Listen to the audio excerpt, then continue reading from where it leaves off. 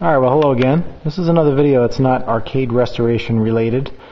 Um, this is something that has to do with something I got in the mail today that I'm pretty excited about. I've been waiting for it to come out for about 30 days.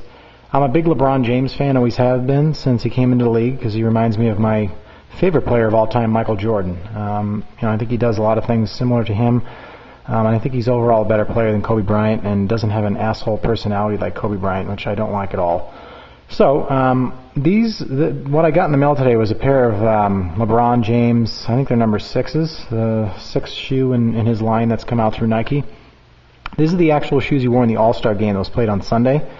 Um, and I've been I've been waiting and waiting for them to come out. There's only been like some release pictures here and there on the internet, but um, I got them today in the mail. And just the box is pretty cool. It shows like his life from you know where he grew up in Akron and how he's called King of the Court and um, St. Vincent, St. Mary. The box is kind of a piece of art as it is. It's got his autograph over here. Obviously not real, but um, you know there's more.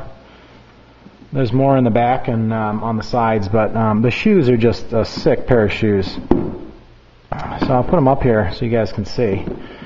but they're the actual shoes he wore in the All-Star game. Not his feet weren't in these, but these are the exact same shoes. They're a limited edition.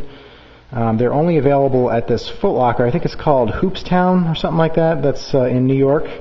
They only came out with them on one day. They're already sold out in every size. I wear a size 12, um, as you can see right here. It's kind of a large size, so it's very difficult to find. So I had to pay a little bit more um, on eBay for these uh, from a guy that I bought another pair of shoes from um, that gets these limited edition deals. But you can just see how I mean they're they're truly a work of art. I mean um, they're the the Air Max 2009 with the full length air pockets. I have a couple other pairs that I wear to the gym and whatnot, but um, the front of them right here, it's the same wood wood grain um, finish, and actually it, it feels like wood if you run your finger over it. Um, that they used in the All Star game in, in, in Dallas. The little uh, insignia here for 2010. Um, if you look at the shoes, it says you know East.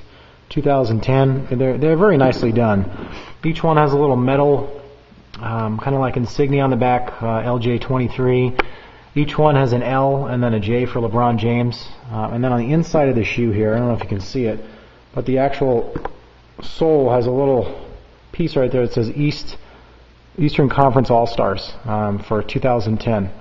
So they're pretty sweet looking shoes. I'm excited about them. Like I said, I just wanted to show them off and just show how badass they are. So uh, comment away if you like them or not. I know the blue is kind of a crazy color, but that's the uh, color scheme that matched up with his uniform in the All-Star game. But I, I think they're pretty cool. I'm not going to wear them unless you know I really I'm going to play hoops, which is not very often. But I bought them as a collector's item. So thanks for watching. We'll see you next time.